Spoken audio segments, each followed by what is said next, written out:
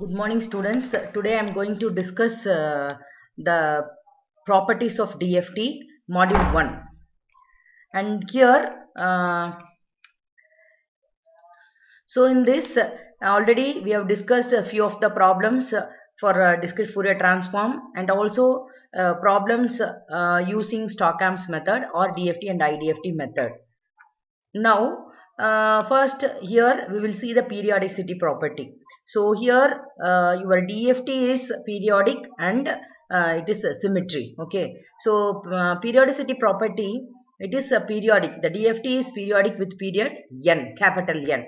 So if the sequence x of n is periodic with periodicity of n samples then the n point DFT of the sequence is x of k. That is also periodic with period n samples. Okay. If x of n is nothing but your time domain sequence and uh, this x of k is nothing but your frequency domain sequence. Okay va? the capital x of k is the frequency domain sequence. The cap the small x of n is the time domain sequence. Okay. This x of n is periodic with period n samples means then n point dft of x, x of n is x of k. That is also periodic with period n samples. Okay. And now here if x of n and x of k are periodic then the pair will be written as so here this x of small this is nothing but your uh, time domain sequence x of n plus capital N is equal to x of n for all n and this capital X of k plus n is equal to x of k for all k. Now how we are going to prove the periodicity uh, for both x of n plus n and x of k plus n okay so now i'm going to take this condition that is x of k plus n. Okay so now uh, wherever the k is there that is replaced by k plus n. Okay so we know the formula. What is the formula? Uh, dft of x of n. Dft of x of n is x of x of k. Dft of x of n is x of k is equal to summation uh, n is equal to 0 to n minus 1 n minus 1 uh, x of n omega n nk okay? X of k equal to summation n equal to 0 to n minus 1 x of n omega n nk so using periodicity x of k plus n equal to x of k. Now this k will be replaced by k plus n and this small k will be replaced by uh, this small this is a small k uh, this uh, k is nothing but integer. So here uh, in this formula wherever the x is there there I am going to replace n capital ca the x plus capital N. So that's what here this equation omega n k this k is replaced by k plus n divided by n. This value is, this uh, denominator is n. Here this omega n is replaced by Euler's identity that is e power minus j 2 pi n k plus n divided by n. Now I am going to simplify this Euler's identity e power minus j 2 pi n k divided by n into e power minus j 2 pi n k uh, into n sorry n uh, uh, not k n n divided by n n n get cancelled. If you cancel n n, then you will get, if you cancel n n, you will get e power this and n and this n if you cancel, you will get e power minus j 2 pi n. And this value, uh, this value e power minus j 2 pi n is nothing but e power this n and this n get cancelled. So you will get e power minus j uh, 2 pi. What is uh, this uh, how we can represent this e power t uh, e power j 2 pi is uh, cos uh, 2 pi okay cos 2 pi and minus j sine 2 pi okay cos 2 pi minus j sine 2 pi and here n is there. This n is nothing but your integer. It varies from 0 to capital n minus 1 so whatever the term which is multiplies with in terms of pi the sine value will be 0 so the remaining is cos 2 pi. What is cos 2 pi? The value is 1 so here see uh,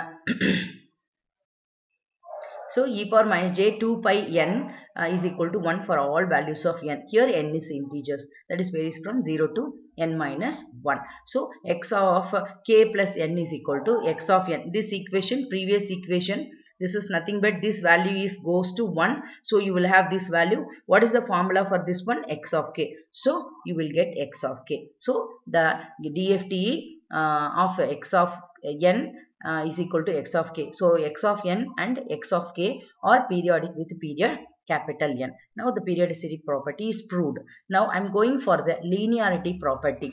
Next linearity property is if x1 of n and x2 of n are two finite duration sequence then DFT of x1 of n is x1 of k and DFT of x2 of n is x2 of k. So the linearity property, if, if the sequence are said to be linear, then it should satisfy the scaling and additive property. Scaling is nothing but so uh, the factor which is multiplied with your sequence x of n and x of 2 that is nothing but your scaling value. Here a is nothing but your scaling factor and b is nothing but your scaling factor. This is nothing but your addition of these two sequence. You will get uh, DFT of this a x1 of n plus b into x2 of n is nothing but your a x1 of k plus b x2 of k. So we know if you apply DFT of a into x1 of n, what is the formula? The formula we know that here uh, DFT of DF uh, T DFT of x of n DFT of x of n is equal to okay is equal to uh, what uh, DFT of x of n is x of k which is equal to summation n equal to 0 to n minus 1 x of n omega n nk right? This omega n you can write it as this this you can represent as e power minus j 2 pi nk divided by capital N. This also you can represent. Okay. So now, so dft of a into x1 of n plus b into x2 of n is equal to summation n equal to 0 to n minus 1 a into x1 of n plus b into x2 of n into e power minus j 2 pi nk divided by n. Now, if you uh, this value now I'm going to take this a outside. So multiply this uh, x1 a into x1 of n into e power minus j 2 pi nk divided by n this value and here the scaling factor is constant so I will take outside and here also I'm going to plus I'm going to multiply this one b into x2 of n into e power minus j 2 pi n uh, 2 pi nk divided by capital N. Now here b is also scaling factor is a constant and it is an integer value so that will be taken outside. So this will be equal to a into x1 of k plus b into x2 of k. And the next one here DFT of even and odd sequence. Even sequence means what is meant by even sequence? Generally, a, se a sequence is said to be even if it's uh, if uh, a sequence is said to be even uh, at a, at a, at negative instant of time your signal should be same. The signal amplitude should be same. Even sequence is said to be uh, sequence if the time is reversed uh, with the amplitude same and the next one is odd sequence. Odd sequence means a sequence said to be odd sequence. If time reversed the amplitude also reverse.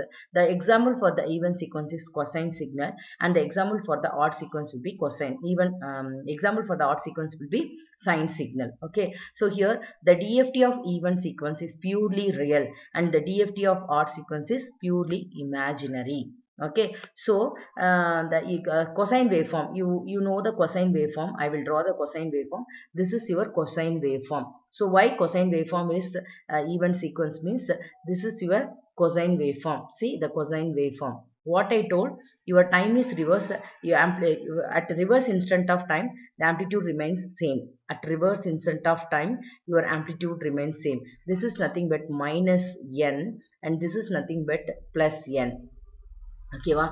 at reverse instant of time this is minus n this is plus n.